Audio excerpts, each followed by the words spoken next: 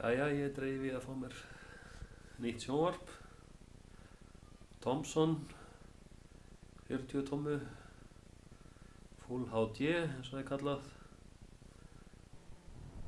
Þeirst vera ágættist tæki. Þannig leiðir á þessu gamla dúbu sjónvarpi óttalegt rasl Kveikja á því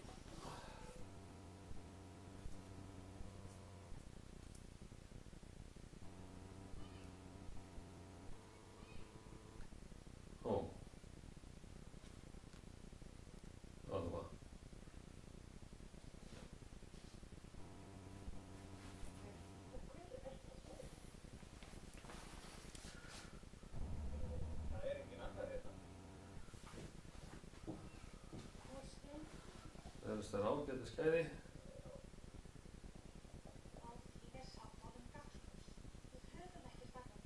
Svo er mér að segja hægt að skoða heimamindböndin í því.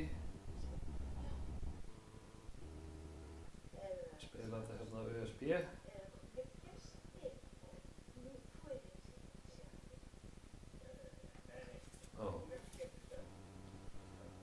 Nei, Hvað skal það í mér? Svona þjá, bæði myndir, tónlist, myndbönd.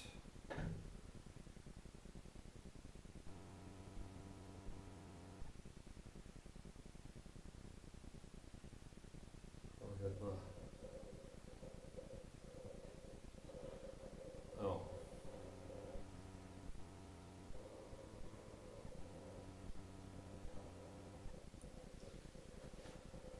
Það er þessar ágæti skæði.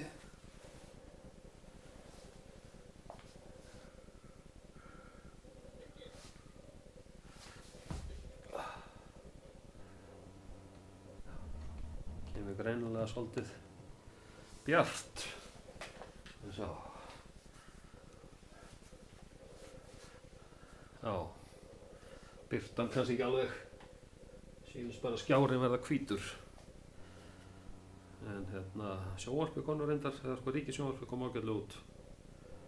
Reyndar það eina sem að ég næ.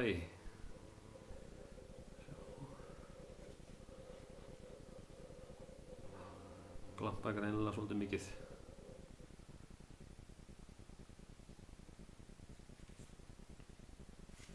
Svo.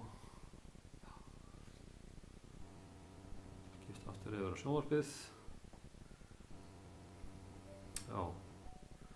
Þannig að þetta er svo sem alveg þokkali gæði. En reynda bara með gamla ríkisútvarpið, næ einhvað öðru með þessu inn í loftneti þarna. Þannig að hérna, en við langar svona bara leifa fólki að sjá þetta. Ok.